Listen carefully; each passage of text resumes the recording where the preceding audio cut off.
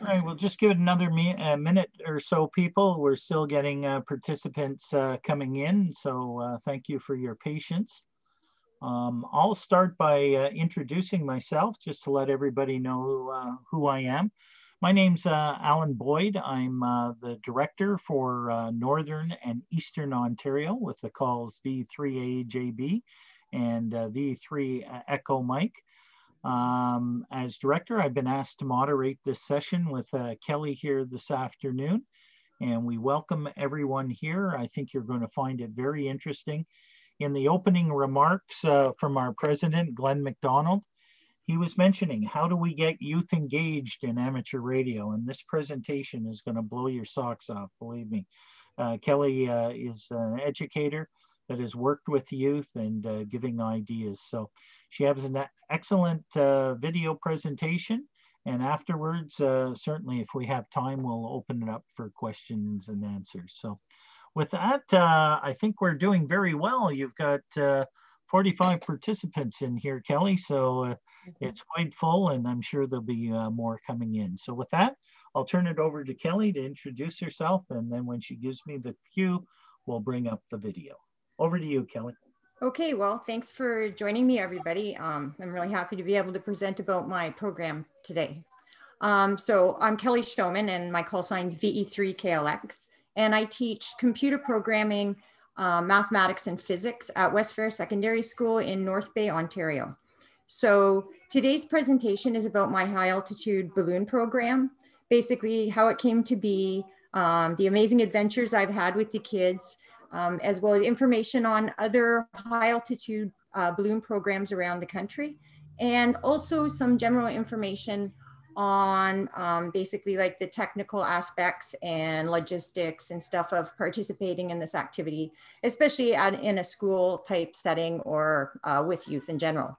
So I also, like Alan, I've heard quite a bit today about how uh, to get young people involved in radio, we're really having to lean in towards computer science. And I'm kind of a case in point for that because really when I first got into radio in 2017, I had never planned on being a ham operator. Um, but I was just really trying to do something I had seen on YouTube. So, um, and it was the Raspberry Pis that dragged me into this in the first place. So that's, uh, that is the entry, I guess, for some of, uh, some of us these days. So. Um, so what we're gonna have now is just a, a, video presentation I made because they say that I talk too much and I didn't wanna go outside of the time confines. So I recorded uh, what is basically a slideshow with videos intermixed uh, as a presentation about my program and high altitude ballooning in schools. So Alan, if you don't mind sharing the video because I don't have broadband where I live, so. Yeah, not a problem, Kelly, here Excellent. we go. All right.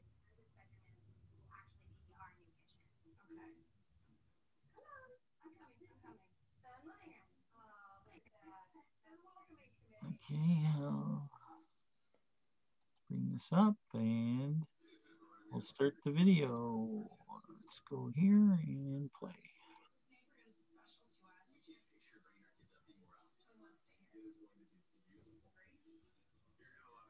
Ten, nine, eight, seven, six, five, four, three, two, one.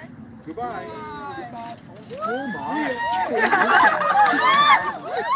and so began my adventures with radio in the classroom. Before that, I was a computer science teacher working at Widdifield Secondary School in North Bay, Ontario, where I taught computer programming and electronics. I'm always looking for new things to do with the kids, and we had been working on electronics with uh, Raspberry Pi mini computers. We had acquired a set of Pi cameras, so I was surfing the net looking for an interesting idea to share with the kids when I came across this intriguing video. It showed a couple of girls around the same age as my students, and they had attached a Hello Kitty doll to a helium balloon and sent it, apparently to space, with a camera capturing the entire flight. I had no idea how they had accomplished this amazing feat, but I knew instantly I was hooked. I researched all night, and the next morning I was in my principal's office talking way too fast and asking for money. I got together with a math teacher named Lori Howe, and we started a club called the Widdifield Near Space Program. It was a collection of kids from different grades and with different skill sets. I explained to the kids what we were going to try to do and also that we didn't know how to do it yet. So that's how we got started. It didn't take long for us to figure out that radio tracking was essential and that uh, the amateur radio and APRS was the way to go. I contacted the North Bay Amateur Radio Club and found a group of like minded individuals ready and willing to help us with our project. I started studying and had a basic license and my very own call sign by March Break. At that same time, we were buying equipment. Our first purchase was a Pi in the Sky board. It was from England, where APRS cannot be transmitted from an unmanned aircraft. They use a 434 megahertz signal to send their telemetry. So we also got the uh, APRS add-on board since we were in North America and not subject to that same restriction. For the sake of redundancy, we also purchased a Byonics MicroTrak 1000 which was a 1 watt APRS transmitter designed to work at altitudes over 18,000 meters. Finally, we purchased a spot trace device to get the final ground location of the payload because we learned that the APRS transmissions wouldn't be heard if the payload was lying on the ground or behind an obstruction. We set to work constructing the payload. The container was a styrofoam bait bucket with a layered set of components. It turned out that this was a terrible design making it very difficult to adjust components or replace batteries. Nonetheless, we had the payload ready to go by the end of April, when most of the snow was gone from the bush and the ice was melted off the lakes. We were using flight path prediction software provided by the HabHub organization to identify where conditions seemed good for a flight. We live in a region called the Near North, about three hours north of Toronto. It is dotted by lakes and wetlands and bordered on the north by barrens and to the east by the Algonquin Provincial Park, an area with few roads, spotty self service, and very sparse radio reception for our APRS beacons. Picking a day with the right upper atmospheric currents is do or die for a mission here. Once the day is identified, we notify the stakeholders about 72 hours in advance and then file a notice to airmen. After schooling the retrieval party on radio etiquette, we are as ready as we were going to be for the big day. This is all our teacher's idea. Like, they've been doing these like high altitude ballooning like sending things into space like around the world kind of. It's like starting to be a trend. So she wanted to do it and she's the one that got us all involved. You seem pretty excited about it this morning. Tell me why. Yeah well like just we've been waiting for this day for so long and like have like we've had things ready and we've just been like waiting for this day to come and yeah it's exciting. Do you understand why they're sending the balloon up? Um no. no, because it's cool. like our group goal was just to come together and put like a project that Widdifield hasn't done before, and like our goal was just to learn more about like space and the like the stuff behind it. First of all, to learn a lot about sort of the weather and radio technology and the computer engineering side of it. And also to get the video footage and the images that we're going to get when we retrieve this payload. So there's video footage on it. So right now it's filming its entire voyage. So that's really what we're looking at besides the live transmission of images. So if we get our computer set up, we'll be decoding images right from space as this is happening. So we're back to the 434 megahertz signal that is being transmitted by our Pi in the Sky board. It's sending telemetry every 60 seconds, but in between those bursts, it's transmitting image data, mind you, at a scorching 300 baud. We had hoped to capture these images during the chase, but try as we might, we were unable to locate the signal. Perhaps, since we were almost directly under the antenna, we are in a uh, signal blind spot, so we heard nothing. Despite this minor failing on the ground, our balloon was up there behaving exactly as predicted, bursting at an altitude just over 33,000 meters and descending under parachute to a location within a couple kilometers of the predicted site. Our convoy of teachers, students, and radio amateurs got as close as we could to the payload by road before heading into the bush for a short hike of about 500 meters. It took us about half an hour of scouting about before one of the students spotted our bright orange payload hanging from a tree a couple of feet off the ground. It was a truly beautiful day, except for the black flies. They're going autofocus with all the hands moving. That's just amazing. We had big plans for another launch we were going to try to make a rotating antenna that adjusted according to data from queries made to APRS.fi. But they announced that my school was going to close, so I packed up my bag of tricks and moved to one of the other high schools in my school board. At West Ferris Secondary School, I was assigned the grade 11 physics course, and I brought this high flying activity into the course, focusing on concepts from Newtonian mechanics and EM waves to align with the curriculum. This time, we used a worm flap for the payload container. The flat, single layer design gave us easy access to the components. The kids did their best to arrange the heavier components near the outside of the box to reduce angular momentum so that there would be less video, uh, less spinning in our videos. One of the physics students had some experience with Python code, and so he took charge of writing and testing the code for each of the three cameras on board. We were ready for launch by Thanksgiving, but it wasn't until the end of October that we found a day with a favorable prediction. It was the first snowfall of the season when we trudged out onto the football field for the launch. This wasn't the best conditions to capture video from the flight, but with days growing ever shorter, we decided it was a go. The snowfall wasn't the only thing going wrong that day. I think that we didn't set the zero correctly on the spring scale we used to measure lift. We overinflated the balloon a lot. I knew we had screwed up when I watched it sway and undulate as, it moved off into the sky.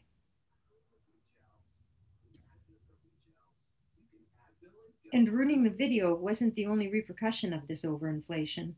The balloon burst at only 28,000 meters, leaving much of the balloon material still attached. With this increased mass, the descent was faster, and so our payload landed way short of the prediction in the untamed woodlands of Algonquin Park.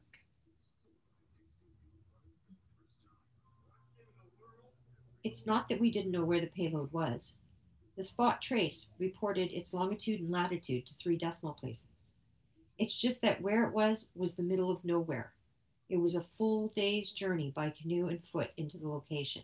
I went in with the outdoor ed teacher but we failed to find it despite having the coordinates.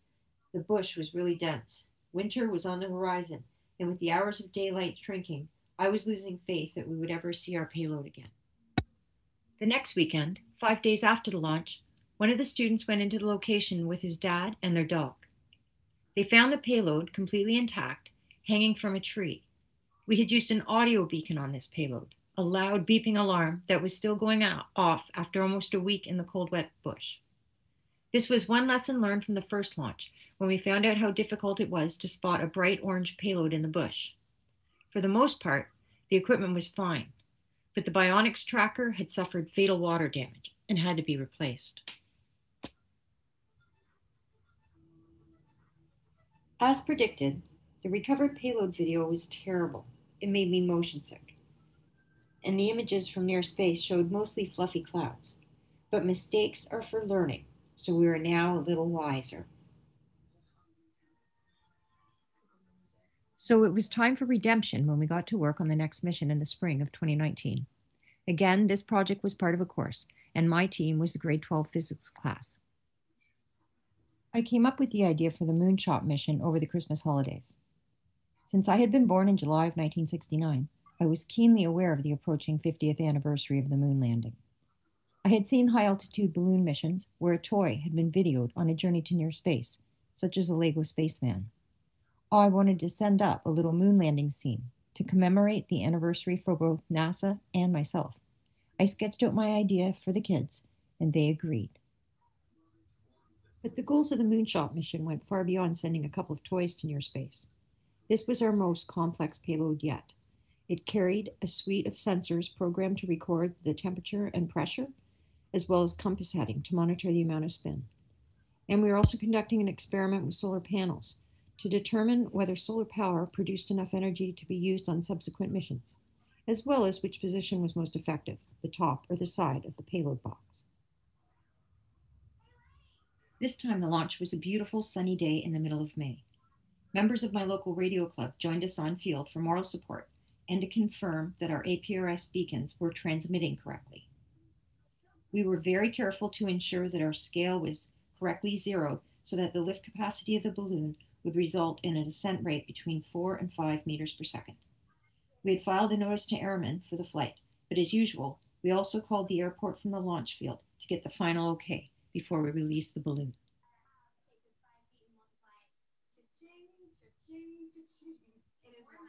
After the launch, our chase convoy headed south.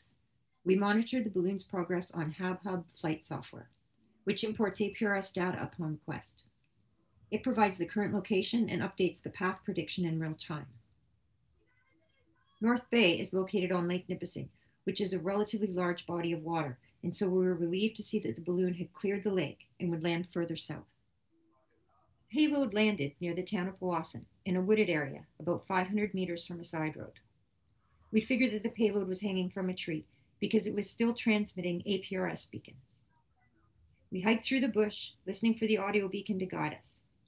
It wasn't long before we located the payload and got headed back to school to check things out.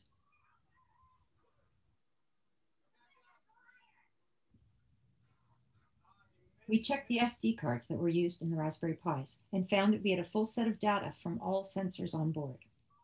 And as far as our little astronaut, there he was, riding on top of the box at 33,000 meters above Earth. In preparation for the 50th anniversary of Apollo 11, NASA had set up a website where the general public could submit stories about the new moon landing. And so we submitted our story there, along with some images of our astronaut at 33,000 meters. Then, about a week before the anniversary, I received an email from NASA telling me that our moonshot mission had been included in an article on their website. Later that summer, there was another email from NASA, this one inviting me to go to Goddard Space Flight Center in Greenbelt, Maryland, to make a presentation about our project.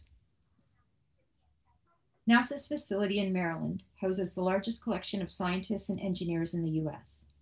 While much of the grounds are off limits to the general public, the visitor center is designed to greet tourists and student groups. The center displays space artifacts inside the education center and outside in Goddard's Rocket Garden. The event I attended was called Observe the Moon, which is an annual event held around the world with the goal of promoting space and planetary science education. The center was busy, filled with educational displays, discussion groups, a robotics demo, teams of students that had designed their own rockets, and later in the night, telescope viewing. For my part, I was thrilled to be introduced by Charles Bolden, an astronaut on four shuttle missions and chief administrator of NASA under Barack Obama. General Bolden was a very friendly man with an obvious enthusiasm for the next generation of explorers. All in all, despite some technical difficulties, my presentation seemed to be very well received. We got the shot. yeah, so we pulled it off. We got the shot just like we wanted. And um, I, I have heard a few people say that the fact that the flag is fully deployed, despite the limited atmosphere, could suggest that this was staged in a studio. Which now, the studies are arguing with people like that.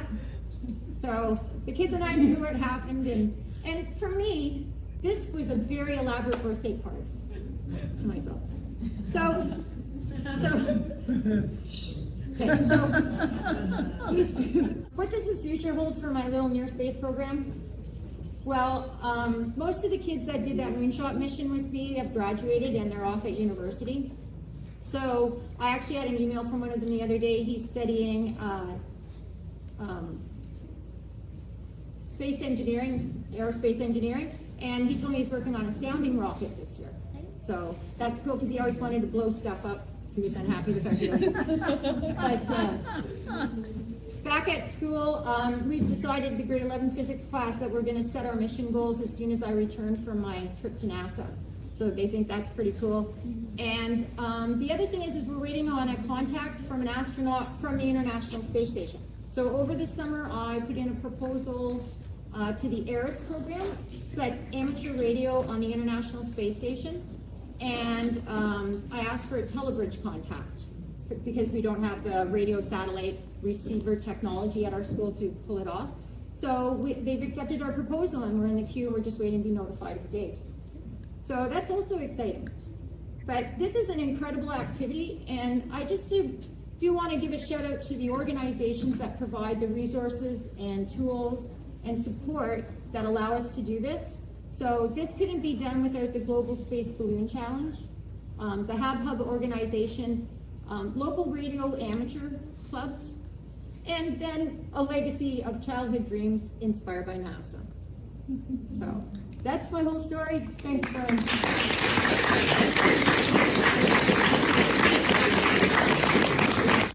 After the presentation, one of the people who approached me was a NASA scientist named Dr. Ben Poulter.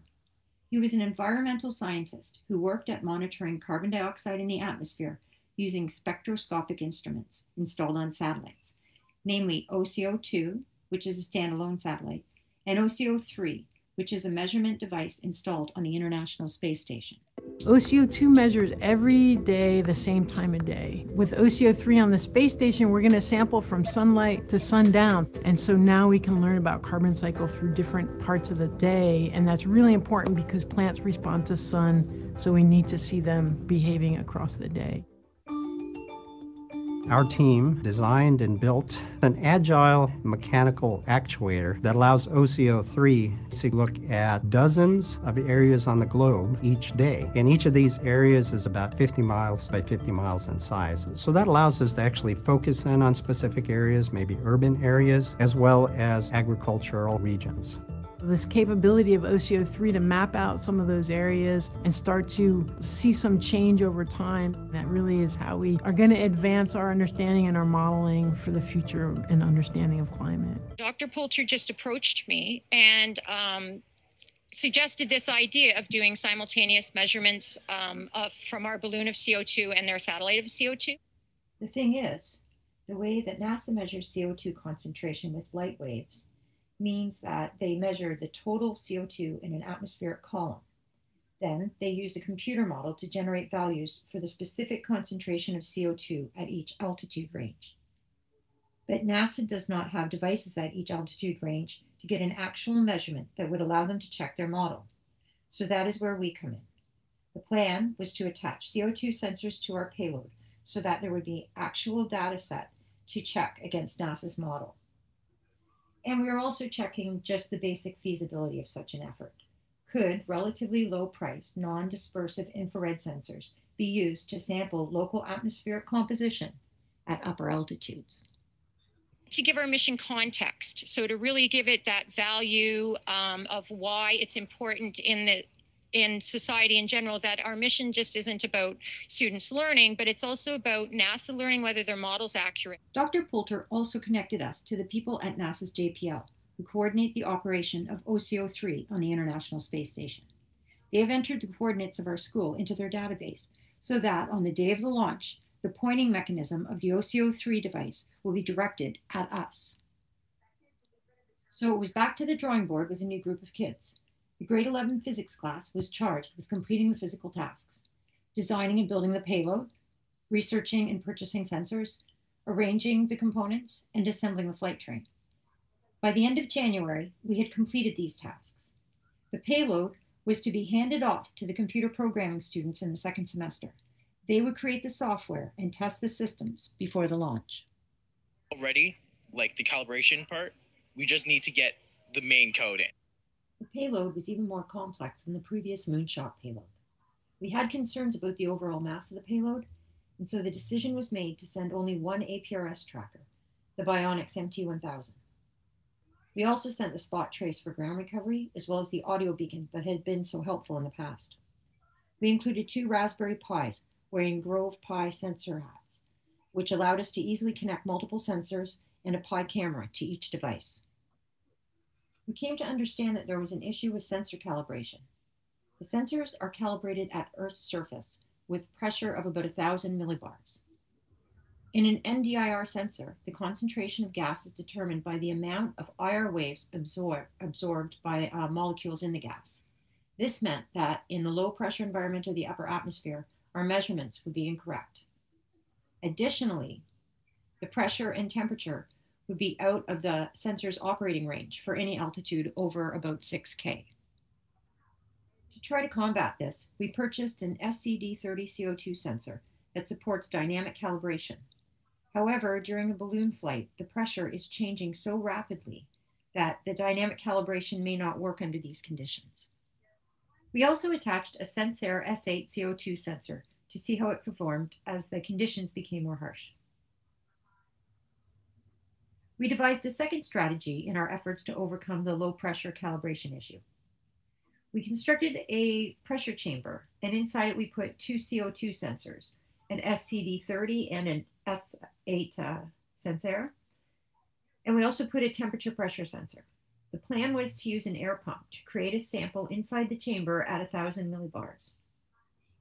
Once the sample was measured, a solenoid valve was opened to evacuate the old sample. Since we didn't have a vacuum chamber for testing, we don't know if this will work. We think that at some point the atmosphere will be so sparse that no sample will be possible. So the plan was to do something in the programming to handle this case. When semester two began, the programmers took over. Dr. Uh, Poulter helped me kick things off by conducting a Skype presentation on carbon dioxide, climate change, and NASA's efforts to monitor the situation. This event extended well beyond our class, with all senior science students and kids from the Enriched STEAM program in attendance. After the presentation, students were able to ask questions. It really generated a lot of excitement for our project and for the pursuit of science in general. So there's this big climate change problem. You don't really know how big it really is, right? And I think this this whole presentation put it into perspective. It's very exciting for me because um, it's something that I never thought I would be doing. That was February 2020. And then the whole world shut down. Thankfully, I had all of the equipment with me. I had brought the payload home for the March break, intending to do some testing. The plan was for the kids to write all of the code for the sensors as soon as we returned from the break, but we never did return. I touched base with Dr. Poulter at NASA to update him on our circumstance with the school closure. He was not surprised as things were going much the same in the US. Despite the closure, I wanted to keep the kids engaged in the mission. To this end, Dr. Poulter connected us with NASA's balloon program office at Wallops Flight Center in Virginia. NASA had a long history of high altitude balloons. In fact, balloons provided a platform for much of the uh, experimentation in the early days of the space program. Currently, the facility is used to launch science experiments and long duration balloons that are as large as a football stadium. One of NASA's balloon engineers, named Chris Yoder, call sign KM4NBX, was kind enough to provide a technical consultation on our payload we identified a potential issue with the pump overheating at extreme altitude. At first, this seemed counterintuitive, since the upper atmosphere is a very cold environment. However, a hot component can only be air cooled if there are air molecules that the thermal energy can be transferred to. In the low pressure of the stratosphere, overheating is a legitimate concern.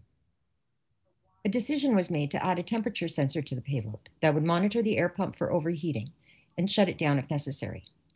The kids also completed the coding for the mission via remote development. I created Python libraries that simulated the sensors so that the kids could write and test their code at home. Still, with everything now in working order, we are once again on hold as we head into a new school year bounded by health protocols that continue to threaten our launch, if still in place by spring. But my program is not the only show in town by far. There are many schools around the world running high altitude balloon programs, and several in Canada. When I first started researching this activity, I discovered a group out of Shaftesbury High School in Winnipeg that had an amazing program. There was a teacher there named Rob Streamer, call sign Victor Echo 4 Sierra Hotel Sierra. He started working with students in 2010 through a group he called the Shaftesbury High Altitude uh, Robotics Project. In 2015, the Manitoba Association of Physics Teachers expanded the program to include multiple schools in the province. The idea was for group members to support each other as teachers in schools and to bring students together to share experiences and techniques through an annual symposium. The group has had as many as 15 schools fly in one year. In 2015, they began doing group launches where uh, groups of students from different schools, uh, from grades 6 to 12, would gather at a launch site at a host school. With upwards of 12 schools participating, uh, this event had a carnival atmosphere with staff and students from the Holst school watching and host the planets playing on the PA system, underscoring the enormity of the event. With each year, students in the program improved their payload design and construction. Many staff and students became certified radio amateurs through the process, with certification courses running out of Shaftesbury High School for a while. In addition to this, the roof of Shaftesbury High School was the site of a certified ARISS telebridge station. And although the station is removed now, Shaftesbury continues to participate in the ARISS program, most recently making contact with astronaut David Saint-Jacques in April of 2019. They also pulled off a launch this spring despite the pandemic. In Manitoba, schools began the process of phased reopening in June. The grade 8 team from Avery Middle School had completed most of their payload before the closure in March and were eager, to uh, launch their flight before graduating off to high school. Teacher Andrew Hildebrand made it happen on June 10th. The launch was a little different due to health protocols. Each student was driven to the launch site by a parent and family vehicle. Many parents took the day off work to spend the day with their child, engaged in a multidisciplinary outdoor adventure. So, that is some of the ways that you can use radio in the classroom to promote risk taking and a growth mindset in students. For me, it has been an exciting learning curve that recharged my enthusiasm for each day of work. I've tried delivering this high altitude learning in different formats as a school club, as part of a physics course, and as part of a programming course. Stratospheric ballooning has a wide scope that allows it to be adapted to different subjects in science and technology by selecting mission goals and student tasks consistent with each course curriculum. This activity can also be adapted to different age groups. Elementary classes and Boy Scout troops are excellent candidates for such adventures. In each case, it is important to know the students you are working with so either you can decide which tasks the students can complete on their own and which tasks teachers need to support. It is the process of problem solving that is the hallmark of high altitude ballooning, rather than a focus in any one subject area. This activity can also be modified to fit a restricted budget. For example, the CanSat uh, events require students to build a payload the size of a pop can. A smaller payload can use a smaller, cheaper balloon and much less gas. The use of hydrogen instead of helium can also be a major cost savings. However, the ghost of the Hindenburg still looms large, so in my experience, school administrators are too nervous to take advantage of the cheaper gas. The tasks involved in organizing a near space program are many, and they require a diverse set of 21st century skills. This is a team activity, and so it is best led by a team of educators able to model a collaborative work ethic. The delegation of tasks is an important factor in the success of the mission. The first task is to secure funding. A near space program cannot get off the ground without the generous support of an administrator or sponsors, especially in the first year when equipment costs are high and the evidence of success is not yet present. It is also important that the administrators understand the flexibility of schedule required by an activity so heavily dependent on atmospheric conditions and so unpredictable in terms of its outcome. The next requirement to check off is a radio license. Radio is the only way to track locations at altitude, and in North America, APRS provides the most ready solution. This means that at least one member of the group needs to have a radio license. However, if there is no licensed teacher, a school group could work with their local amateur radio club to assist with the tracking and provide a call sign. With the money and license in hand, it is time to gather the student team and organize its members according to their strengths and interests. There are two main categories of tasks that must be accomplished technical and logistical. Technical aspects will involve payload and flight train design and construction, and the purchase and testing of technology. Logistical tasks involve the budget, transportation, publicity, permission forms, and communication with government agencies, such as the airport and NAV Canada. Before any tech is purchased or the payload is designed, it is important to clarify the mission goals. For an inaugural mission, simply launching the balloon and getting the payload back can define success. But decisions do need to be made about what kind of images and video are desired, whether there will be sensors and what type, and the type of tracking equipment that will be used. These are not simple decisions. You must take into account not only the cost, but also the mass of each item and the technical background of the team. It is probably best to keep the mass of the payload under 1,000 grams for a first time mission. Now it's time to select and purchase the equipment that will meet the mission goals. This could include tracking equipment, antennas, cameras, other electronics, and batteries. The team can now design and build the payload container. The design must take into account what materials to use, such as styrofoam, tape, podgy, the size, mass, and orientation of the technology. So, you know, does the device need to be upright? Do you need access to power ports or camera ports? Um, orientation of cameras and antennas. on the outside of the package. Um, a design also must balance the masses to minimize the spinning during the flight. Um, you've got to think about how the cameras and atten- uh, antennas will actually be mounted and attached to the payload. And then finally, how the container will be attached to the parachute. After the payload has been designed and the total mass has been determined, you can now purchase the parachute and balloon. You must also consider the flight train. What type of cord will you use to attach everything together? You may want to consider a swivel attachment so that spinning does not cause your flight train to become tangled.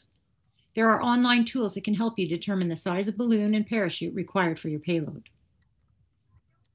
Once the tech has been installed into the payload container, it must be tested to make sure tracking and reception equipment works, to make sure all required ports are accessible, to see if all cameras function, and to make sure the camera shots are clear of unwanted obstacles. It's a good idea to develop a test protocol or checklist that will guide you through your actions on the launch day to make sure that you are not forgetting any essential tasks on the day of the actual launch. Selecting a launch date and location can be a complex decision that could change based on conditions in the upper atmosphere. Since this information is based on forecasting, it is not possible for us in our region to plan a, a, flight any more than a week ahead. The unpredictable nature of this task can make it a very stressful part of the mission that requires the understanding of all parties involved, including students and administrators. Ultimately, no launch date is confirmed until the go no go meeting, which we have 48 hours ahead of the launch. There's excellent software to assist you with flight path prediction and the selection of your launch date location. Um, and you can find links to this type of software um, through the Global Balloon Space Challenge or the HabHub organization's website. While selecting a an exact date might not be possible, then um, in that case, what you should do is select a launch window, a range of dates wherein the launch is possible. This sets a date point at which all mission requirements must be ready to go. The exact date of the launch is then chosen based on flight path predictions, with consideration for other activities that may be happening at the school, and the availability of your community support, such as the radio club members that will be supporting your in flight tracking. Another way to handle the unpredictable nature of this activity is to have more than one potential launch site. Of course, the ultimate launch site is your own school grounds, but this may not always be possible. For example, in North Bay, where I live, the prevailing conditions generally send the flight to the east. And so we had an alternate launch site west of the city where we could use uh, in the event that there seemed to be no day that would allow a launch from our primary site at the school. Because high altitude balloons uh, travel through controlled airspace, you must notify the authorities of your flight. So there's a few different places to contact. Um, first of all, you do have to file a notice to airmen within 48 hours of your flight um, to warn any pilots and airports that um, there's going to be a balloon in the area. Um, you must also, in our case, we contact the shift manager of the Toronto Area Control Center for NAV Canada. Um, and then we also contact uh, the local airport just to let them know that we're going to be flying. And then we contact them the day of the flight at the moment we're going to launch, um, just to make sure that um, there's no air traffic in the area they want us to wait for. As with all flight preparations, checklists are the call of the day. And whether this is a listing of all required equipment to bring to the launch site or a list of items that each student should bring uh, on the retrieval, or an ordered list of tasks to accomplish. Um, all of that needs to be accomplished on launch day. It's very important to have these things in order. Um, the launch day will be a busy and stressful event, and so planning and rehearsal is essential for a smooth mission. On the launch day, all roles must be finalized, each task assigned, and the launch checklist must be vetted through a simulated practice to identify any missing steps or important considerations.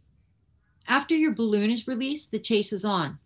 Generally, the tracking team is a group of cars carrying a variety of participants students, teachers, uh, volunteers from the radio club, and other interested parties. Um, on this field trip, the destination is unpredictable and will most likely involve travel through rural areas on dirt roads. And so um, you have to work out how you're going to transport the kids because a yellow school bus is probably not the best uh, fit for this kind of thing. In the past, we tend to use um, just rental vans or teacher owned and teacher driven cars.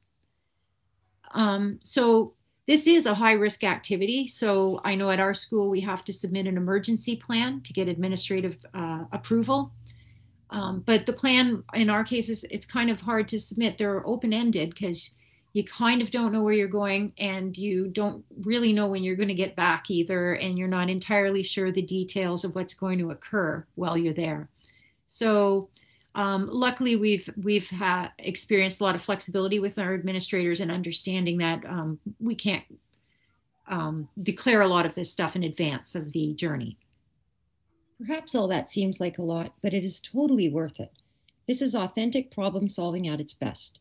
Students learn that the key is that they set their sights and maintain a heading which can carry them to their goal, with an understanding that the time to destination, the path to destination, and in some cases, the destination itself can all change. Okay, that's it. Okay, excellent.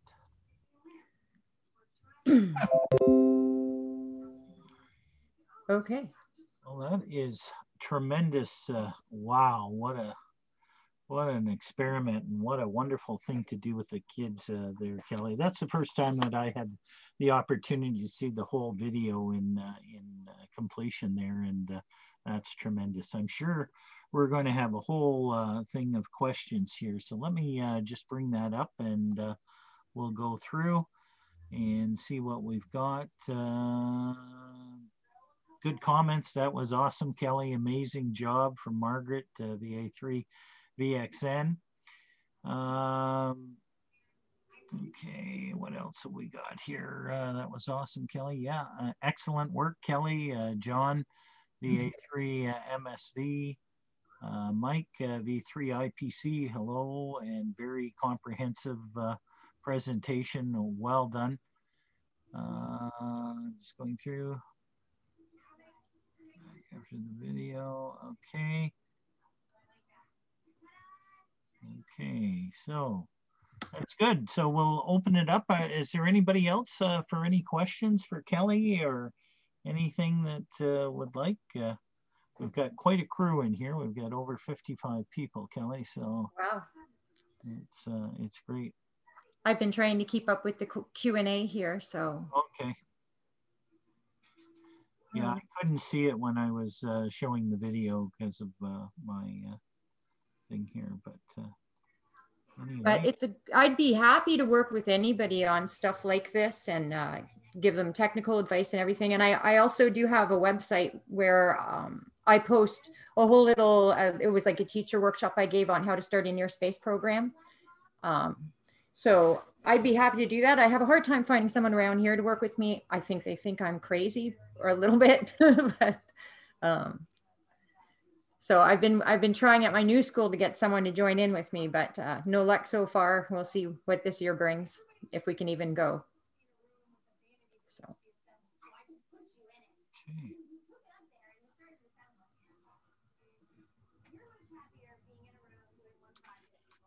Okay. Any uh, others that uh, have any questions uh, for Kelly? And I'm sure, is there uh, contact information for you, Kelly, that you can share with uh, anyone? Um, email address or if people have further questions or further follow-ups? Sure. So, I mean, um, where should I post it? Um, post it in Q&A to everyone? Or how does that work? Um, that's a good question. We're going to have to check. I'm sure we're going to be on the uh, uh, you know, the RAC website with all our presenters and that. So I'm sure it'll be there afterwards. Of course, people will be able to watch this video uh, on YouTube uh, after uh, after this conference. Uh, I know we were talking on from the director's standpoint on allowing it to be able to be viewed for the next X amount of days or weeks. So um, so, so I'm sure there'll be places to post it. Uh, where right now, I, I can't answer that. Because I do have a website um, that's showman.x10host and the dot com. And the 10 is just the number like one zero, x10host.com. So that's, uh, and the, um, and that's the other, uh, my email address is kelly.showman at nearnorthschools.ca. And near north schools is all one word. Okay, schools is plural. So um, I guess that'll help maybe, but we'll, I'll post it as soon as you guys have a place to post it. I'll, I'll make sure I get it up there somewhere because I'd love to collaborate with other people on this. And maybe we could send a bunch of sensors up and give NASA a bunch of data um, to assist them in uh, verifying their model. So I think that that would be incredible if we could uh, get more teams involved and get more data points on the map for uh, Dr. Poulter. Excellent. Just a couple of other comments. I wish I had a science teacher like Kelly. That was from Doug uh, V7 uh, EPT. Uh, Brent uh, VY2HF, absolutely wonderful. Your students are very lucky to have you in that. So yes, absolutely. I mean, getting youth engaged is the key. Certainly on behalf of Radio Amateurs of Canada, we thank you so much, Kelly, for doing something like this. This is exactly what our uh, president and uh, executive uh, directors are looking at. We want to get youth engaged in the hobby, continue this, and uh, what an excellent uh, project to get the youth involved. And uh, hopefully, maybe we'll get some future amateurs, not only scientists, but yeah. amateurs out of them too. You know, it's it's wonderful and very exciting to see it going on. So, do you have? Um, a future launch date, uh, or is there everything's on hold right now for that last payload? Or I always think I'm trying to go before the uh, Jap Japan Olympics. I don't know. there you go. see, you know, uh, I I would really like to go in the spring. I can't like it's not going to happen before the spring. It just can't. But I would love it if it could. Um, and we'll see. I mean, they pulled it off in in uh, Manitoba, so maybe with enough protocols, if we had some sort of solution for the transportation. I mean, you just got to make the string a little longer and we can all maintain our six feet. So oh, yeah. we'll see, fingers crossed. Like, well, I'm sure if, uh, you know, your existing students or any future students that are going to get involved in that, they're, they're certainly going to be uh, enthralled with that. that. It's just absolutely amazing and to see all that and get the recognition from NASA and the doctor. Oh, yeah. That that's, uh, that's really high accolades uh, for sure, indeed. So that was great. That was that was fantastic, really. You know, oh. and it was my 50th birthday, so it was kind of like, oh. Well, well exactly. You know, so, it's uh, it was uh, it's it's wonderful to get acknowledged that way in what you're doing, and putting uh, Corbeil and uh, you know Northern Ontario on the map. That's uh, wonderful too, and you know, I certainly speak as director for Northern Ontario. Uh, uh, certainly, any future thing that you want RAC involved or whatever, I'll back you 100%. And uh, because this is exactly what we're doing, and certainly uh, we'd like to hear future information follow up so we can put it in the Canadian Amateur Magazine and uh, follow up with that for sure. So. So you guys have been really supportive, really, right from when I first called you know, the guy on the website for the North Bay Club, right on Alan Griffin has been fantastic um, through, because uh, I've had a couple articles in the TCA. So right. I mean, I've had nothing but support from uh, Radio Amateurs of Canada and uh, really appreciate, you know, the whole community and everything. Well, and just to let you know too, uh, Radio Amateurs of Canada support bursary awards too. So if you know of a student that was yours that uh, did an exceptional job uh, by putting their name forward, uh, uh we have funds, uh, you know, that uh, are available for these type of students and, and that. So please let us know and if we can help their further education and and that to become scientists or whatever their future in in science and technology. that's what it's all about. So. Sure. Great. All right, one last call, people. I see it's just about time. Uh, we've got a minute and a half left. Um, are there any final questions or anything further for uh, Kelly uh, this afternoon uh, to join us? We'll, uh, we'll wait and see. Uh, as soon as this presentation is finished for those, okay. Okay, so uh, from uh, Marcel, at the end of this session, we are going back to the main meeting room uh, for uh, discussion and then the AGM uh, and that. So wonderful. Terrific uh, project, Kelly. Thank you. Great Oh, presentation, Kelly. Thank you. A job well done. Uh, can you include it on the RAC website? Uh, Alan Griffin has info, okay, and uh, all of that. So wonderful. Well, thanks so much for having me. Okay, excellent. Well, thank you, ladies and gentlemen, for uh, attending uh, Kelly's presentation here. We're going to ask you all now to uh, go back to the main meeting room if you're available. We're going to have open discussion there for a bit, and then, of course, the RAC annual general meeting will be started. So with that, I'm going to close this session, and we'll see you all over there. So thanks again, Kelly, on behalf of RAC. Thank you for your wonderful presentation. Well, thank you. Bye. Take care, everyone. Thank you.